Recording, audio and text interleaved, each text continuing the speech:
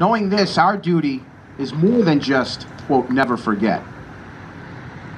Our duty, those who witnessed such vivid evil, is to educate their generation.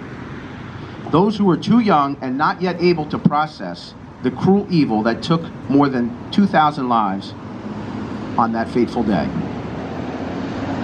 For those young minds who are not yet developed to understand events 17 years ago, and whose existence for some not on this planet happened yet.